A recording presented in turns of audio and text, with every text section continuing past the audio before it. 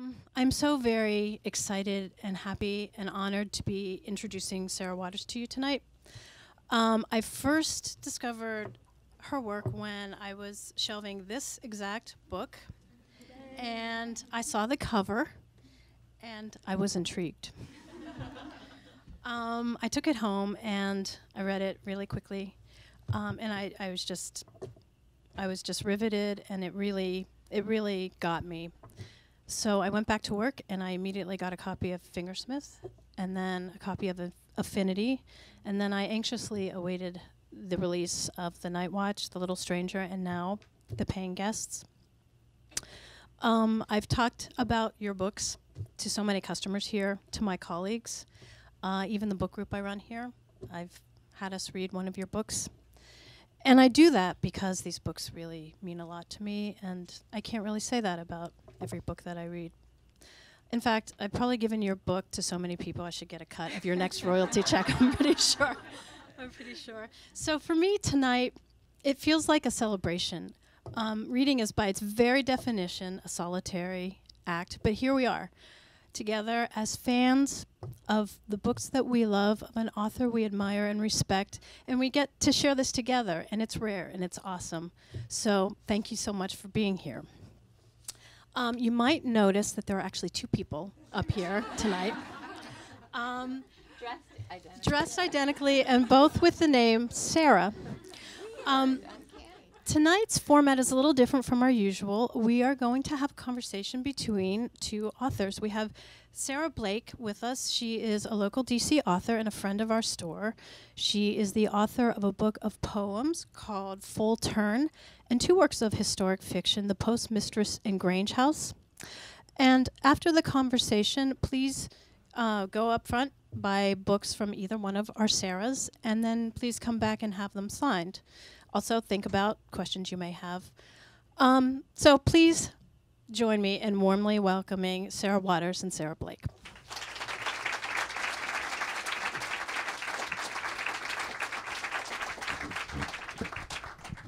Thank you so much. Now, um, how's this? Good? Okay. So, um, I want to just start off uh, tonight's conversation by um, just reminding us uh, in 1941, at the end of Between the Acts, Virginia Woolf, uh, which is her last novel, Virginia Woolf writes, It is time that someone write a new plot. and I think that Woolf uh, meant many things by that, um, not the least of which is it's time for a, a new story for women's lives. Um, beyond that, it's also time to find a new way to tell that story.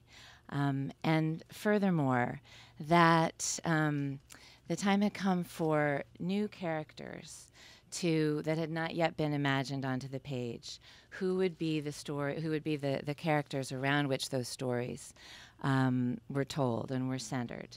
And um, so I am putting that to you because I want to say that I think Sarah is that someone, and have always felt that um, ever since I first read, uh, first came to your work. And um, so I'm very excited to be able to talk to you and be wearing identical clothes. we walked into I walked into the green room and we were both like, okay. so um, so maybe we could, um, as as Susan said, the this is your sixth novel, and um, I guess maybe we could. I'm, I'm, sure most everybody in here are, are big readers of yours, so um, the others don't need an introduction. But maybe you could um, give us a little sense of the paying guests, your sixth novel, and and how you came mm. to it. And yeah, sure. Yeah. Um, can you hear me? Okay. Great. It's lovely to be here, by the way, and thank you for the introductions. My goodness. Um, the Paying Guest is set in 1922 in London. Um, a very interesting time, as I discovered through my research. It's set in a kind of a suburban, what we'd call a villa, a, a detached suburban house. Uh, with a mother and daughter living in it, Frances Wray and her mother, who are middle class, maybe upper middle class, and like lots of middle class families of the period, Um, they've lost menfolk to the to the war, and and they've lost servants and they've lost income through failed investments, and they've been obliged to take in lodgers, the paying guests of the title, and they are Lillian and Leonard Barber, a young married couple. Uh, who are distinctly lower middle class. They're from what was known rather snootily as the clerk class, the clerk class, I suppose you would say here.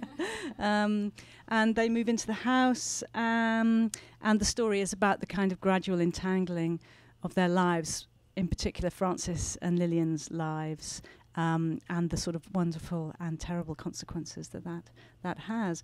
And sh- shall I talk a bit about where it came from? I went to the 20s initially because um, it's funny with my books, often I'll have a, I don't know about you, but often I'll know, you know, a bit or a lot about the period, enough that I want to write about, enough to have a good sense of the story I'm going to tell when I get there.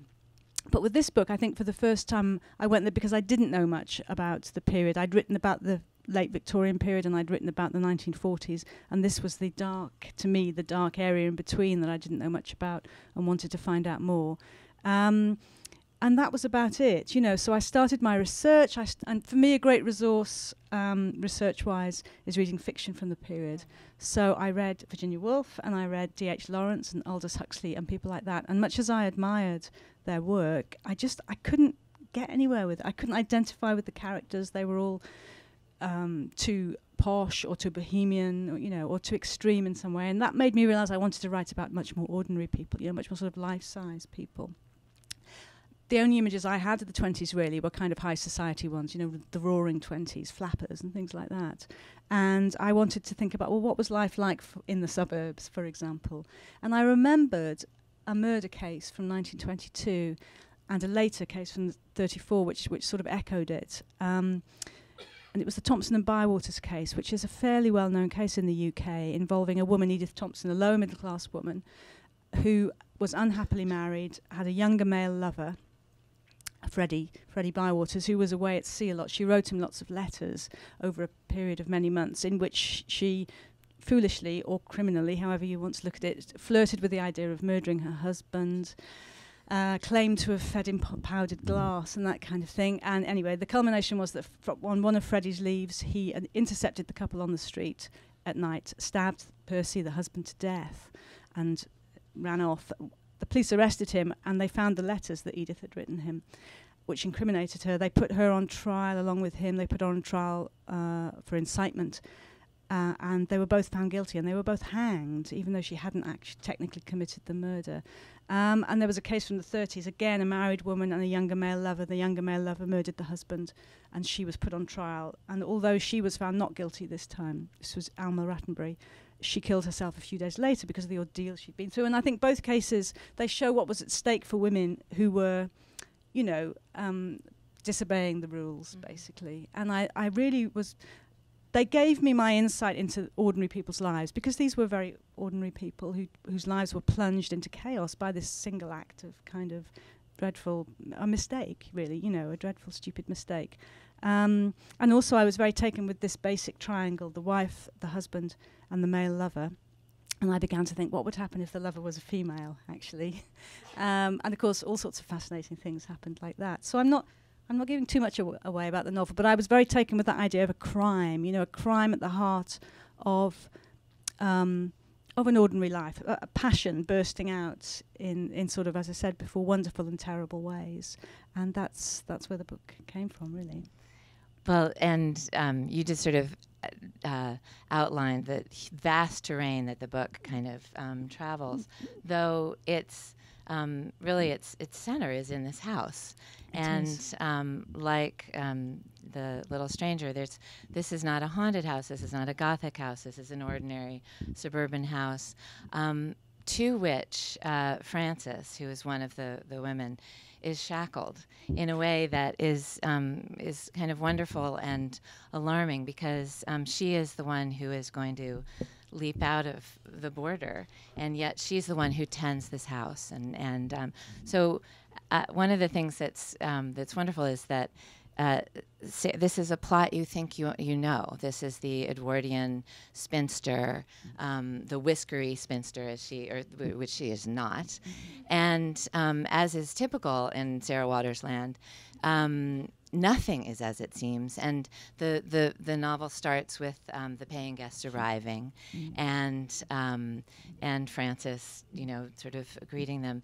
And, and the way in which um, the novel opens up, where we realize not only is she ordinary, she needs to take in um, these, this couple, but she is, um, is she is extraordinary too, and not in the traditional way of a of a um, you know heroine. She's extraordinary in that she had dreams and they and they died, and um, she is extraordinary in that she will um, she's restless and goes to smoke and goes naked under the sheets within seconds of you know you thinking that she's just a spinster. I guess one of the questions I, I had was, um, how is it that she came to be? Like, wh- who are her sort of literary sisters? She's um, the the ghost of Margaret Schlegel is around. You know, here the the ways in which um, the uh, Howards End um, also set in 1921. Um, but but Frances is a new character. How how did she arrive? Well, she's she's kind of related to some of my older characters, like Caroline in in The Little Stranger, who's ag- who's again a sort of the daughter of the house who's been off at, in in the war actually, and sort of having a, quite an interesting time. We we gather and has been brought back to look after her uh, her mother and her ailing brother and the a- the big big ailing country house that needs sort of Mhm. endless maintenance. Um, and she's very kind of you know sort of brittle and. Um, and, and, and quite fearless in her way, and and so is Frances in lots of ways. I, well, I mean, the novel is a lot about bravery and cowardice and Mhm.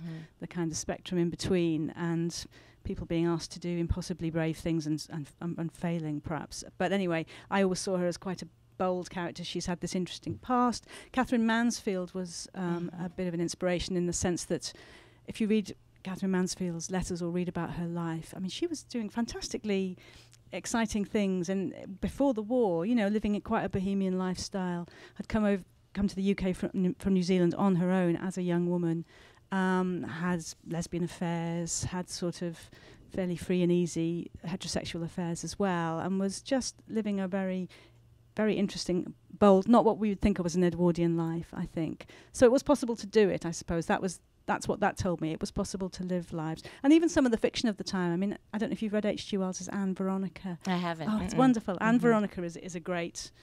Uh, is is just a great kind of spirited young woman who, who who leaves home, you know, leaves a middle class home and sets up on her own, and eventually marries a man she's in love with, and it's great. So weirdly, the I, I think the Edwardians have a have a lot more. There's lots more, there's lots more transgression in the Mhm. Edwardians than we would give them credit for. Um, but then, of course, this is post-war, and that was something I had to really discover was this Mhm. post-war world, which was much m- gloomier than I Mhm. had anticipated. Not Mhm. just gloomy, but unhappy. You know, Mhm. pe- the war has, in 1922. The war was only eight, uh, four years past. Um, you know, the country was full of servicemen, some of whom were physically disabled, some uh, lots of whom were emotionally scarred. They'd come home feeling disgruntled. There were no jobs, there were no houses. Women, by contrast, I mean, they'd been through the traumas of war, but they'd gained new freedoms during the war, especially working women, actually. But I mean, just if you think of the difference in women's clothes, you know, there's Edwardian corsets and big leg and sleeves, the huge hairdos they had, the long skirts, the weight of it all. You know, within sort of 10 years or so, they were wearing shorter skirts. Think of Downton Abbey, you know, the kind of fluid lines, haircuts, cloche hats. Um, there was a new informality to life. People were talking about birth control and homosexuality. I mean, some people anyway. Um, so it was a it was a very mixed time, but there was th- I think there were tensions around tensions between men and women, tension between the classes, tensions between the generations, with Mhm. sort of younger people feeling that. Uh, you know, the older generation had sent them off to war, which you know they kind of had in a way. So, I mean, Vera Brittain. I don't know how well known Vera Brittain is over here. Testament of Youth, one of the one of the great memoirs of all time, actually, but but one of the great memoirs of the First World War. And you know, she she again was a very spirited girl um, who managed to break away from her her middle class home, but she went off to to nurse during the Great War, and was called home by her parents towards the end of the war because they had lost reliable servants, and you know they couldn't cope. They didn't know how to kind of boil an egg. And she was very resentful. You know, she knew that if she w- was a man, they would not have called her home. But she went home, and then a few years later, she did manage to break away and set up home with her friend um, Winifred Holtby. so you know, even even very spirited young women like that had to really struggle to break Mhm. away. So Frances, I felt she, you know, she belonged very much to that last generation of unmarried daughters. She's like 26, 27, you know, who would have been expected to stay and service th- the family, stay and look after her mother. And also, her mother is in, you know, what she's in this very tricky position. Yeah. Her brothers have died in the war. Her father has died. Her mother w- will be left alone if if Frances leaves home. Mm. Absolutely. I mean, Frances is, um, you know, there's a, a real sense of, of, of her realizing that, you know, the, the door had just shut. She thought she was going to be able to, to go when her father died. And of course, she's not going to leave her mother. I mean, I think one of the wonders of um, certainly the first half of the novel, which is this really glorious love story between these two women as they, you know, who are in this house and among the waxing and the polishing and you know the, the, the paying guests live in the in the brothers old rooms the brothers who've died. And they all have to traipse down through the house to go out to the WC I mean there's there's a constant sense of um, everybody being mingled everybody having to you know be in be in each other's business that um, that only sort of creates this uh, this intimacy that that then burgeons. But one of the things about Frances is that having uh, she's very much it seems weighed by the war and by what has happened. And into her life comes um, Lillian, who, in fact, whose whose hems are a little bit higher, and has, you know, she's. I, it's it's. I'm not sure she's bohemian, but she's she is an, an artist or thinks of herself as an artist but there is uh, the way in which she actually um, brings, in some senses, she calls Frances to life. There's an amazing scene, which I won't um, uh, wreck, but um, where. The pulling the stage. Can we say? No. but I think the thing that one of the things that in in this this sense, I mean, 1922 is this time that is much heavier than in some ways, and well, certainly than um, the kind of romps that we saw in the early in your in your Victorian novels. This is this is a much um, more meditative um, time in in some ways in the way that it's the way you've written it. But these glorious the the love between the the, the women sort of spark off, and in in that way sort of crumble the house, and and that's how the house starts to to sort of fall um, around them. One of the things that, that is, um, again, characteristic of a, a Waters novel is that somewhere in the middle, um, you find yourself in a completely different plot. I don't know about you, but when I read Fingersmith, I mean, I literally, I was, I was reading it and I would be like, what? you know, and then, or no, no, wait, what? Like this. And then, and, and that, uh, you know, is the, the way in which Sarah is constantly asking you to see and re-see, and that these, you know, these women are, are they're they're shaking the bars of the cage of the plot, and in so doing, they're showing you the plot itself. And I mean, that is magic. I think, and and in this novel, um, we think we're in a love story. We think we know. We think this is the Edwardian, you know, the the spinster and the mother and the and the war, and then um, about halfway through, the novel runs head on into something else, and um, the, it opens up entirely and becomes, in fact, a different plot. The women are are locked in a different plot, and this is where the courage that they're being asked to see whether they have um, is is called to mind. I'm I'm wondering if you knew that you were going there as you as you wrote this. I mean, this is always, you know, especially as a writer myself, it's like how do you know you're going to end up with that beautiful plot? Um, I knew um, broadly. Um, I knew not as much as I would have liked to know, really, because I'm much more comfortable working a book out in advance. I mean, with the with the Little Stranger, I you know I even had the very almost the very last moment of the book in my head right at the start and would sort of work towards it. And certainly with Fingersmith, which is the most convoluted of them all, I did. I mean, I had to have that worked out in advance. It would have been impossible to just start and not know where I was going. And I, and as I say, I'm very comfortable with that. And even you know, I find I don't know about you, but I find that it's it, it's not at all reductive because even if you have your plot worked out, you still don't know how your characters feel about the plot. They don't. Mm-hmm. You don't know how they feel about the things you're going to make them do, or how they feel about each other, and that's the interesting stuff actually, because that's all about motivation and dynamics and things. But with this book, I had I had a basic scenario. Um, I, f- I fairly quickly got the sort of stuff that comes later because there were more more complications later on. Um, but there were many ways I could have I could have played that scenario. You know, I was really conscious of that. It could have been kind of like a caper. You know, it could have. Uh, and I, but I did know I didn't want to do that. I wanted it to be a book about moral, well, sort of moral muddle, really. Mess. I realised there was a lot about mess. I mean, I'll read a bit in a minute where Frances does some housework, and Fra- Frances is very is always sort of tidying up, um, but increasingly, you know, that the sort of untidiness becomes uh, has a, has a other dimensions. You know, emotional. Um, um, and ultimately, as I say, moral. And I was very, you know, I really, I, I liked that a lot. That really appealed to me. Um, but yes, it took a long, um, it took a long time to get to understand what the book might be, mm-hmm. you know, mm-hmm. to, to sort of really see it.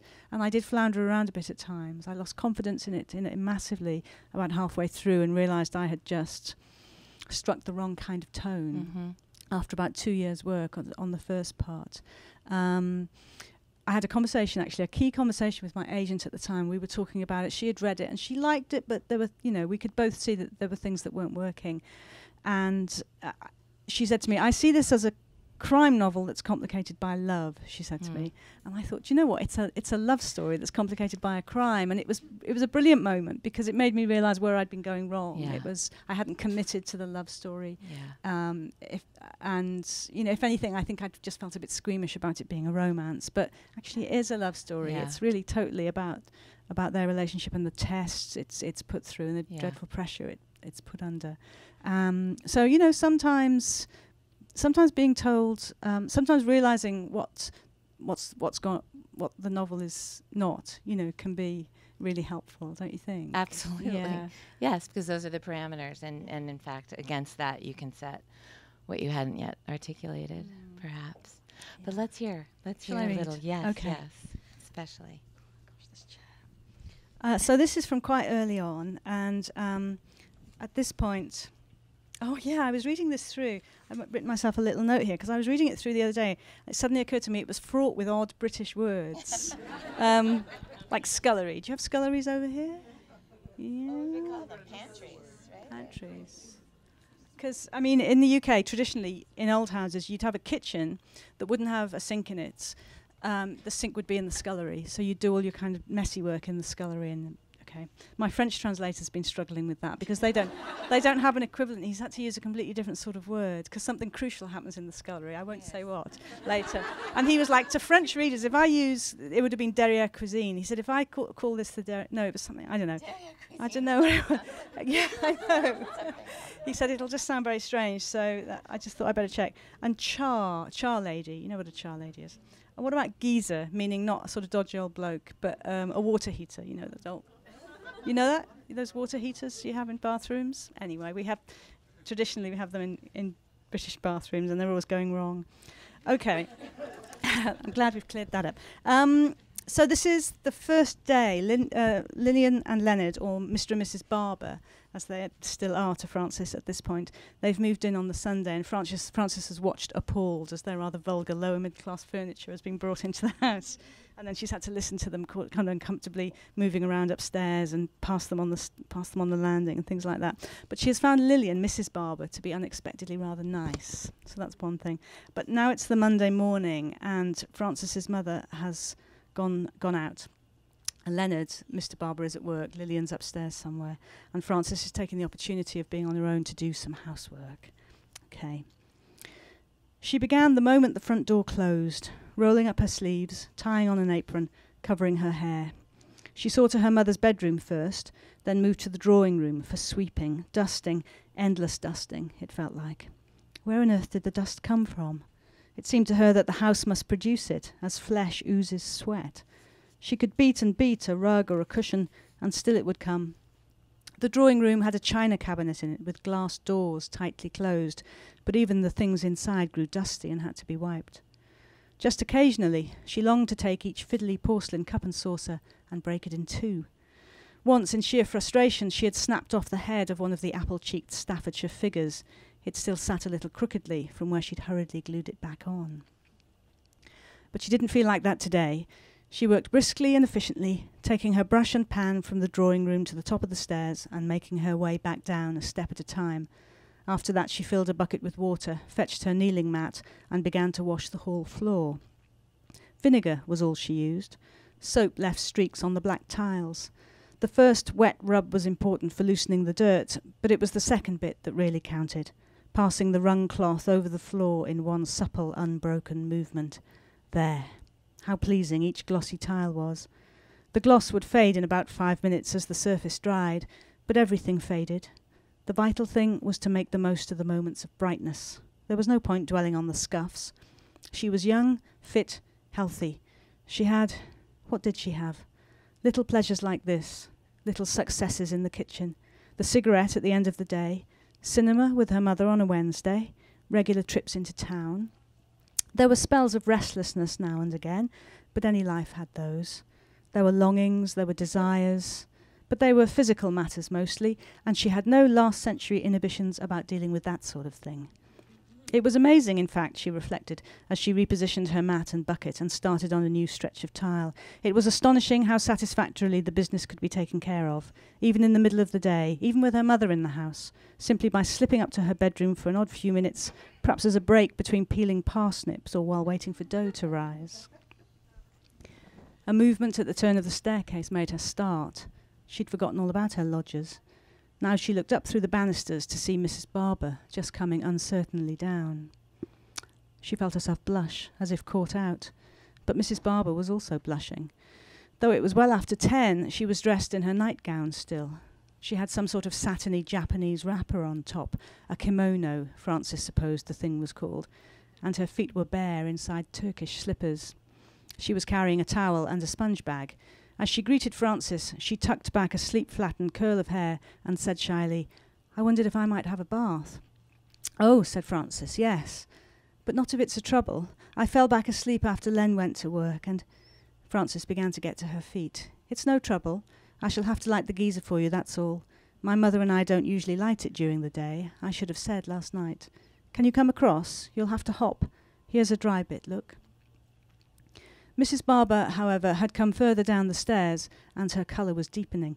She was gazing in a mortified way at the duster on Frances's head, at her rolled up sleeves and flaming hands, at her house at the housemaid's mat at her feet, still with the dents of her knees in it. Frances knew the look very well. She was bored to death with it, in fact, because she'd seen it many times before, on the faces of neighbours, of tradesmen, and of her mother's friends, all of whom had got themselves through the worst war in human history yet seemed unable for some reason to cope with the sight of a well bred woman doing the work of a char. She said breezily, You remember my saying about us not having help? I really meant it, you see. The only thing I draw the line at is laundry. Most of that still gets sent out. But everything else I take care of. The brights, the roughs, yes, I've all the lingo. Mrs. Barber had begun to smile at last, but as she looked at the stretch of floor that was still to be washed, she grew embarrassed in a different sort of way. I'm afraid Len and I must have made an awful mess yesterday, she said. I wasn't thinking. Oh, said Frances, these tiles get dirty all by themselves. Everything in this house does. Besides, you'd be amazed what a whiz I can be with a mop. Here, let me help. Mrs. Barber was on the bottom stair now and clearly doubtful about where to step to. After the slightest of hesitations, she took the hand that Frances offered, braced herself against her grip, then made the small spring forward to the unwashed side of the floor. Her kimono parted as she landed, exposing more of her nightdress and giving an alarming suggestion of the rounded, mobile, unsupported flesh inside. They went together through the kitchen and into the scullery. The bath was in there, beside the sink. It had a bleached wooden cover used by Frances as a draining board. With a practiced movement, she lifted this free and set it against the wall. The tub was an ancient one that had been several times re enamelled, most recently by Frances herself, who was not quite sure of the result. The iron struck her, today especially, as having a faintly leprous appearance. The Vulcan geyser was also rather frightful, a greenish riveted cylinder on three bowed legs. It must have been the top of its manufacturer's range in about 1870, but now looked like the sort of vessel in which someone in a Jules Verne novel might make a trip to the moon. It has a bit of a temperament, I'm afraid, she told Mrs. Barber. You have to turn this tap, but not this one. You might blow us sky high if you do. The flame goes here. She struck a match. Best to look the other way at this point. My father lost both his eyebrows doing this once. there. The flame, with a whoosh, had found the gas. The cylinder began to tick and rattle. She frowned at it, her hands at her hips. What a beast it is. I am sorry, Mrs. Barber. I do wish this house was more up to date for you. But Mrs. Barber shook her head. Oh, please don't wish that. She tucked back another curl of hair. Frances noticed the piercing for her earring, a little dimple in the lobe. I like the house just as it is, she said. It's a house with a history, isn't it? Things, well, they oughtn't always to be modern. There'd be no character if they were. And there it was again, thought Frances, that niceness, that kindness, that touch of delicacy. She answered with a laugh, Well, as far as character goes, I fear this house might be rather too much of a good thing, but I'm glad you like it. I'm very glad. I like it too, though I'm apt to forget that. Now, we oughtn't to let this geyser get hot without running some water, or there'll be no house left to like, and no us to do the liking. Do you think you can manage? If the flame goes out, it sometimes does, I'm sorry to say. Give me a call. Mrs. Barber smiled, showing neat white teeth. I will. Thank you, Miss Wray. Frances left her to it and returned to her wet floor. The scullery door was closed behind her and quietly bolted. But the door between the kitchen and the passage was propped open, and as Frances retrieved her cloth, she could hear very clearly Mrs. Barber's preparations for her bath, the rattle of the chain against the tub, followed by the splutter and gush of the water. The gushing, it seemed to her, went on for a long time. She had told a fib about her and her mother's use of the geyser. It was too expensive to light often. They drew their hot water from the boiler in the old fashioned stove. They bathed at most once a week, frequently taking turns with the same bath water. If Mrs. Barber were to want baths like this on a daily basis, their gas bill might double. But at last the flow was cut off. There came the splash of water and the rub of heels as Mrs. Barber stepped into the tub, followed by a more substantial liquid thwack as she lowered herself down. After that, there was a silence, broken only by the occasional echoey plink of drips from the tap. Like the parted kimono, the sounds were unsettling. The silence was most unsettling of all. Sitting at her bureau a short time before, Frances had been picturing her lodgers in purely mercenary terms, as something like two great waddling shillings. But this, she thought, shuffling backward over the tiles, this was what it really meant to have lodgers, this odd, unintimate proximity, this rather peeled back moment, where the only thing between herself and a naked Mrs. Barber was a few feet of kitchen and a thin scullery door. An image sprang into her head, that round flesh crimsoning in the heat. She adjusted her pose on the mat, took hold of her cloth, and rubbed hard at the floor. And therein lies the tale.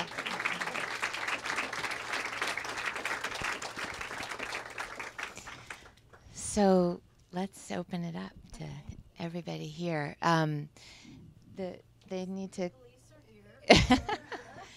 There's the microphone there. They actually have to come up.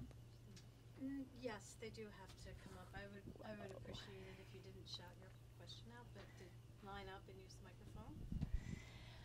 That's a bit daunting, isn't it? Oh, Yay! Hi, Sarah. Thank you for coming. Um, I happened to read on the internet that there were a lot more love scenes in the book that got cut, and so I'm here to ask if you think I should start like a write-in campaign to get a little ebook release with those, or if those will ever see the light of day, um, like where your papers are gonna go, or um, just with you answering the question about the crime with the romance or romance versus crime. I thought it was interesting that those got cut. Yeah, there's um, there's a couple of sex scenes in the book at the moment. I it did I felt it was important that they were there um, because this is a novel about a passion, you know, and Frances and Lillian. It's hard. It's a shame to be giving these details away, but you know, it becomes a very powerful um, affair for them both, and they, they have to be kind of bowled over by it. So I wanted there to be proper proper sex scenes there. Um, and I and I and I, I did put a lot more in at the start, but they um, they just kind of slowed things down. That was the problem. They were they were sort of the same thing over and over again, which is the worst. which is you know which is great in life, but in a novel, um, it's just not what you want, is it? It's oh, that again.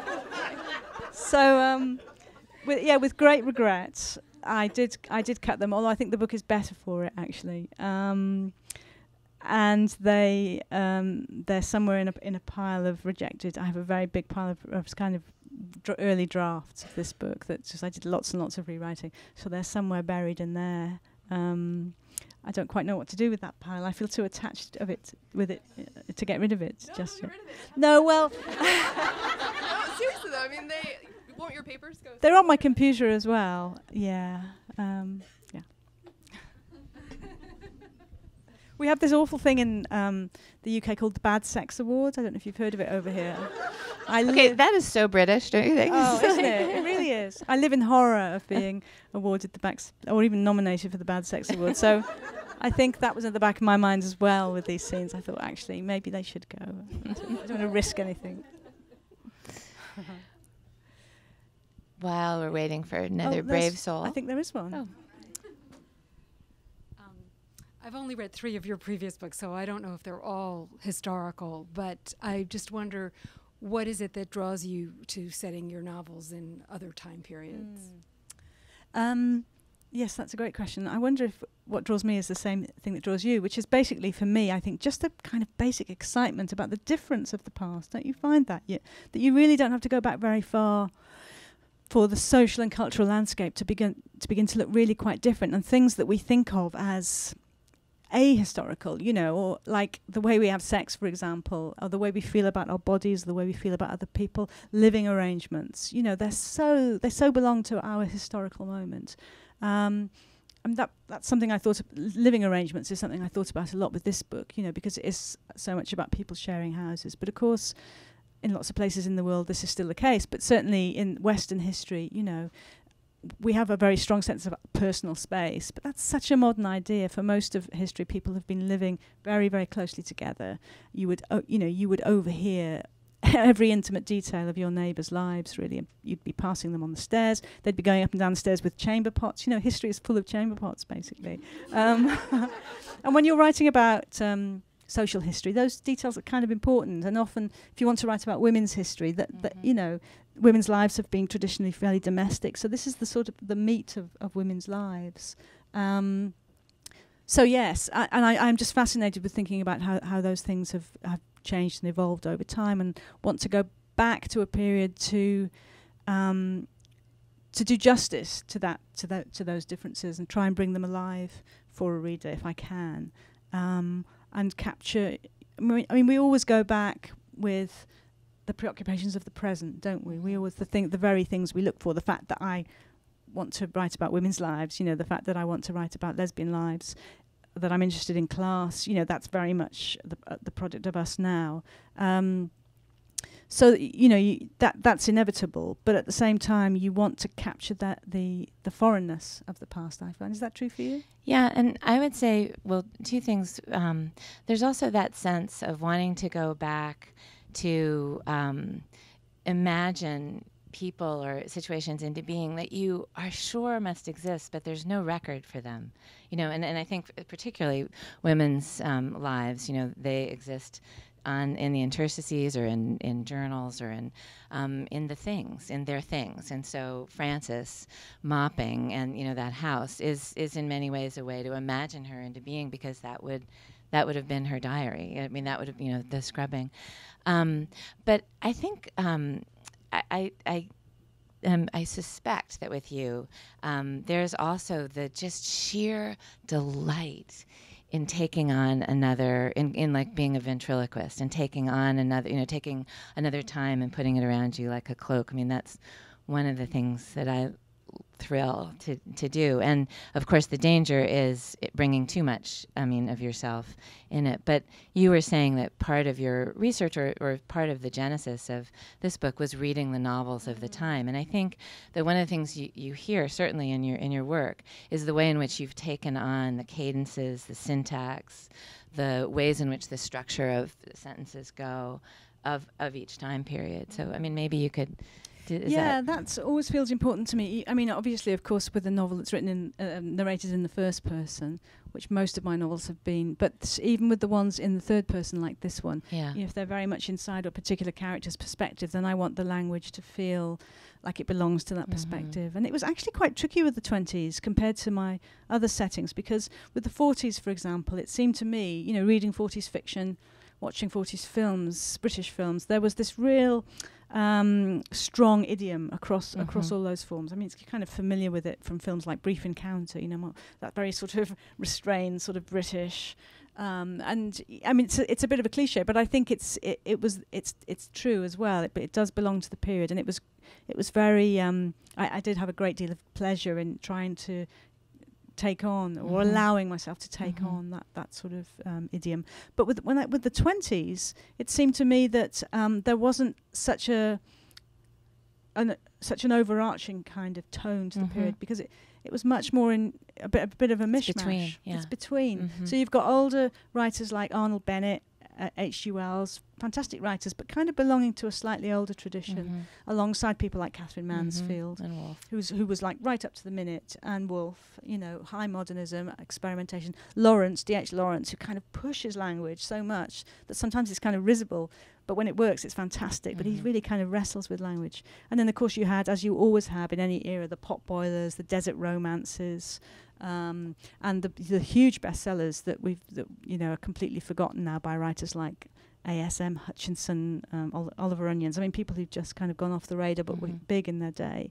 And so, uh, for Frances's perspective, I just had to kind of find find something that seemed appropriate. Mhm. One thing that did strike me, if you look at, say, the diaries and letters of people like Woolf and Mansfield, is that there seems to be this new relish for slang, Yeah. as if slang has been let in, and s- and swearing, modest Yeah. swearing, cursing, as you would call it, has been sort of let in, and that you know the Virginia Woolf st- letters make these wonderful swoops between very very literary and then Yeah. kind of, you know, she's clearly loving loving it, and Katherine Mansfield's the same. So, uh, Frances and and she has a friend Christina. You know, they they have a bit of that as well. I think. Yeah. yeah, I like that. Yes.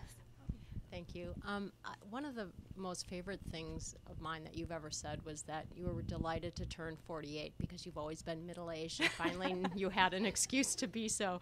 Um, I love that and, and um, feel it. I wonder if you could talk a little bit about most of your um, characters uh, who, who love other women are young, but if you could talk a little bit about what you think would be different about writing about older gay women and their relationships, or you have any thoughts on that? That's a really interesting question because the oldest I've got with my heroines has, has been in their thirties for the Night Watch. When, to be fair on myself, I was not just o- only just past my thirties then. I suppose I would have been, or even still in them. I can't remember now.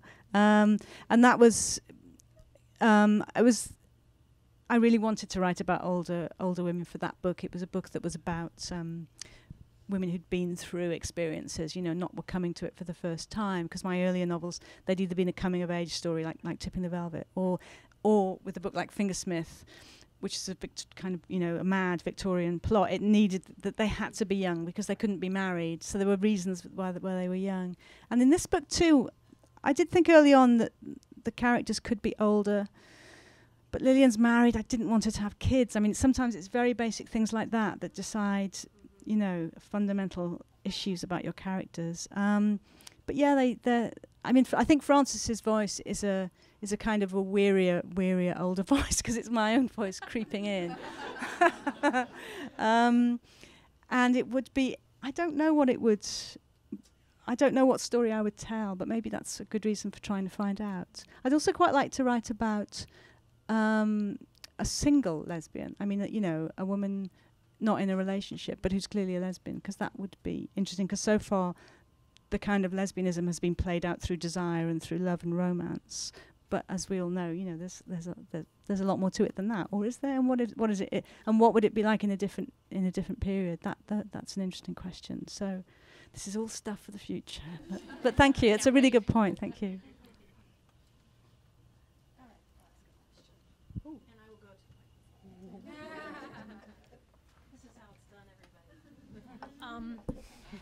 A number of your books have been made into movies. Um, I wonder what you think about that. Are you happy with the outcome? were you? I know you were involved with some of the productions, but uh, do you feel like they were true representations of your books? And will you have future movies made out of your books? Um, to answer that bit first, actually, there are plans to do, uh, fairly advanced plans actually, to do The Little Stranger as a feature film with um, Lenny Abram- Abrahamson is the director on board. He just directed a film called Frank, which with Michael Fassbender, which was very interesting. He's about to do Emma Donoghue's novel Room, which will be make a wonderful film. Yeah, it'd be interesting how they do that. Anyway, and then apparently his next project will be The Little Stranger. So I, I mean, I've spoken to him about the book, and he's he has a fantastic grasp of the things I was trying to do in that book. So it's very exciting. And um, I don't know if you'd heard this about a Korean version of Fingersmith. There's Park Park Chan Wook, who's a brilliant Korean director who did Old Boy amongst other th- films many years ago, kind of ultra violent uh, film, I, which I admire a lot. And he recently did a film called Stoker, his first English language film. He um, wants to do a, a Korean set version of uh, Fingersmith, which is really exciting. I'm really delighted about that. Um, because sometimes you know sometimes a looser adaptation that's true that's true to the spirit of a novel like clueless and emma for example can be a more satisfying adaptation i think than a than a more plodding um, faithful one. Um, but my, my experience of the adaptations has been pretty positive on the whole. Um, i've never been creatively involved but i've never wanted to be. It's not my skill it's not my talent and also of course by the time a book's being adapted i've generally already moved on, maybe, maybe one or two books or more ahead. So it would be hard to go back, I think. And I think to adapt your own novel, it's hard. You need to be ruthless. You know, you need to cut.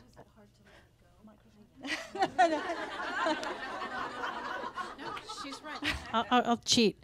Was it hard to sort of let them go? Um, no, actually, because um, of course, by the time I did let them go, I'd I'd I'd had conversations with the production company, you know, with different production companies, and only let it go to one I felt was going to not mess around with it. Um, and it was just fascinating. More than anything else, it was fascinating to watch it tr- be translated because it is a translation from the page to the screen, and it was, you know, what can stay, what what has to go, which characters maybe are conflated into one character and things like that. And it was very, very uh, interesting and quite useful actually to see a screenplay based on one of my books. I mean, the first time I saw it, it was startling, tipping the velvet. You know, I don't know how many pages, 400 pages or something, of lush, untidy prose, as I now realise. But um, you know, reduced to sort of, I don't know, 95 pages of very spare dialogue, and sometimes one, a scene over which I'd laboured, you know, to capture every element was just two, two lines of dialogue. But in a good screenplay, they are the, you know, the key two lines of dialogue. And that's, that, you know, the, realizing that the art of a good script is, is to get to the essence of a scene was really useful for me then writing to, for myself to think, what is, what is the essence of this scene, you know?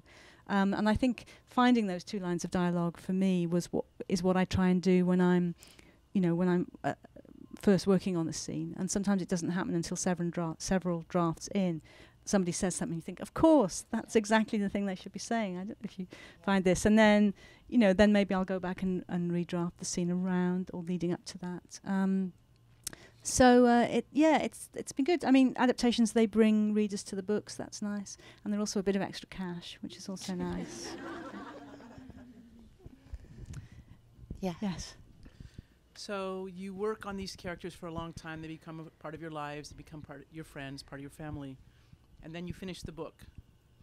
So do you ever want to go back and revisit them? Do you want to do something more with the characters? Mm. Seems to be a strategy that some authors use and others don't. Yes, it's funny. It sounds absolutely heartless, but I get, I do get incredibly emotionally involved with the characters. You can't help it, can you, when you're working on a novel? And um, the prospect of saying goodbye to them can be quite tough while you while you're working on them. But somehow, when the book is finished, I never, I never want to revisit them. They just exist for me for the book. You know, like like sort of figures in a mechanical clock or something. It it does sound heartless, but that's that's their life for me. You know, they they're in the be- between the covers. So I've never wanted to write a sequel. Um, I do. I don't even very often have a sense of what lies ahead for my characters. I mean, I have a broad sense. Jane Austen used to be able to used to be able to say to Jane Austen, "Oh, you know what happens to Emma and Mr. Knightley?" Kind of ten years time, and apparently she could sort of say what happened to them. Um, but um, I've never really had a sense like that with my characters. Um, so yeah, it's yeah, no, it's funny. Is that because you think of the way the books end, the sense of closure, or where they're at? I definitely, you know, I work very hard to to create a complete Mm-hmm. artifact.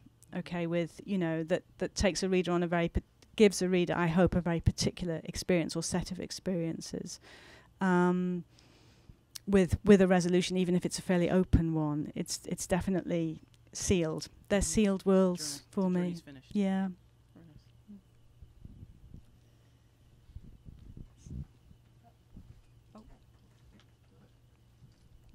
I really liked hearing about all the research that you did in reading the contemporary fiction of the era, and that was really cool. So I was wondering if you had other ways of doing research, other sources you went to that you also like to do in addition to the reading contemporary fiction. Um, yeah, uh, newspapers were a great resource for this novel in particular. Um, the Times being online, it was incredibly easy. I could read, I could read issues from from the day, the actual days that I was writing about. You know, in 1922, and Frances looks at the newspaper from time to time, and you know, she sees the newspaper that I. I called up, kind of thing. So, I newspapers were great for the uh, the issues of the day, but also they give you so much incidental information. You know, there are adverts for clothing and with prices and fashion. And the slang again, the language. Yes, Yeah. yeah. And of course, you know, I mean, papers belong to very specific demographics of readers, but nevertheless, um, yeah, there's lots of articles about food and what's on at the cinema and things like that. So that was a great resource. The, um, the internet, of course, is a fantastic resource in all its wonderful variety, um, and that's changed just since I've been writing. You know, in the old days, I remember with Tipping the Velvet, say, I wanted if I wanted to write about cigarettes, you know, I'd go to the British Library, look through the catalogue for something that might have information about cigarettes packets, order the book, wait for it to be delivered, which might be 24 hours. Um, you know, call it up and make my little notes. Now I can Google Victorian cigarettes, and there we are. There's you know, there are the images. so for this book, you know, it was wonderful for fashions, women's fashions, women's underwear, which puzzled me for a long time. What exactly uh, kind of underwear were women wearing in the 20s? Um, just everything you can think of. I mean, it's a fantastic distraction, isn't it? Yeah. That kind of thing. Total abyss. yeah, you've got to be careful of that. But it is it, it is pretty wonderful. Um, films were interesting with this book because I'd watched a lot of 40s films for the last two books, and they were very helpful. But of course, it's a very different experience watching a silent movie. Um, and the, the, they're, they're so much more theatrical. I mean, the acting styles are kind of crazy, and they're mad. It's 20s films, the melodramas.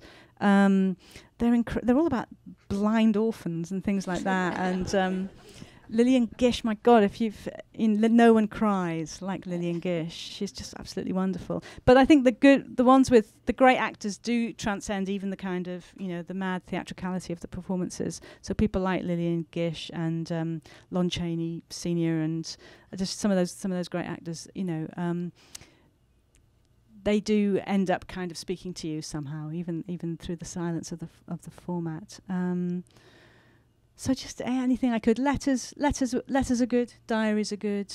D- the great, the diarists I looked at: Siegfried Sassoon, Arnold Bennett, Virginia Woolf, Katherine Mansfield. Uh, again, very class specific. Harder to get hold, harder to get access to working class voices, lower middle class voices.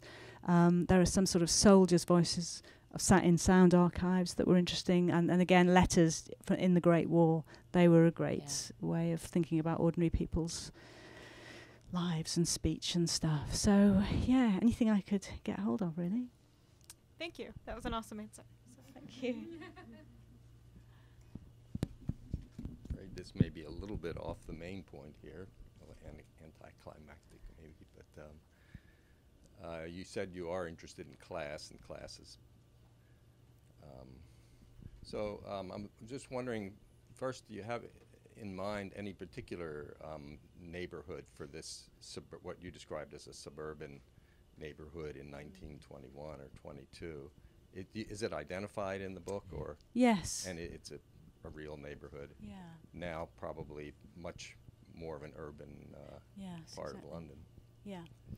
Yeah, it's actually it's very specifically Champion Hill, which uh, is an area in Camberwell in, in South London, um, which was was first settled in the in the 18th century precisely because of its distance from sort of the stinks of London. It was seen as a very healthy because it's fairly high ground, and some of those those early houses are still there. Some were knocked down, but increasingly throughout the 19th century, London expanded and, and joined up. And Camberwell was known as having the highest concentration of clerks south of the river. It was a very lower middle class area, basically. So I like this idea of Champion Hill, even in 1922, being a kind of island of sort of upper middle class life that had, you know, was kind of being slightly engulfed by more mo- more sort of modest households creeping towards it.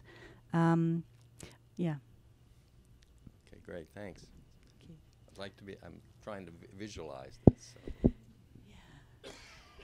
Well, we have time for One more. one more. Yep. Yeah. Hi. Hi. Um, thanks for coming here. Thank you. Um, I had a question more on the, uh, just maybe if you could speak a little bit more about how you come to the idea for your novels, because Mm. it seemed like you, you mentioned that you're very interested in history and um, uh, you mentioned some crimes and events. So is it more kind of event-driven, historical, or do you certain characters come to you first? I'm just curious how you how it kind of comes together for you. I'm kind of curious about it too, as well, because of course now I'm now I'm faced with the prospect of having to start another book, and it's really quite daunting. Um, and I think th- the truth is, it's been different with every book. Um, Tipping the Velvet, my first one, I'd been doing some academic work on the gay underworlds of Victorian London, and um, could see all this lovely, juicy detail, you know, that hadn't really been um, found its way into fiction much, um, and was anyway quite gay male, and I, I wanted to kind of appropriate it for and, and imagine a kind of similar lesbian history, I suppose. And I think definitely for those three Victorian novels, I j- I'd read a lot of Victorian fiction, and I had a sense of what, like I think I said this before, a sense of what stories might be there, maybe just under the surface that I could quite easily, in a sense, tug out. Um, then I moved to the 40s, and you know, I, I I knew just enough about women's experiences during and just after the Second World War to know that that would suit the sort of story I was more interested in telling then, which was more about older women, slightly older women anyway, and was more about jadedness, if that if, if that makes sense. You know, women who who had sort of been through stuff, just as London had been through stuff, to put it mildly, during the war. Um, so that you know that there seemed a natural kind of marriage of the story I wanted to tell and the setting there. Um, and then again, I knew uh, by by the time I finished that, I knew so much about the 40s that it was relatively easy to step into another 40s novel and, and and tell a different kind of story. This one was a much slower gestation because I had to get to know the period and, and figure things out. So I don't know. It's I think it, a lot of it is the sort of the, uh, it's like a mood. I don't know if you have the same thing. It's um, I have a, a sense of the mood of, of the story I might want to tell next, or the sort of experience I want a reader to have, maybe, um, and that will somehow produce, somehow lead me to to certain things, which will in turn, you know, bond together and and and pro- somehow somehow produce a story. Um, so hopefully that will happen again. Thank you. We all hope so. Thank you all very much. Um, we have books for sale.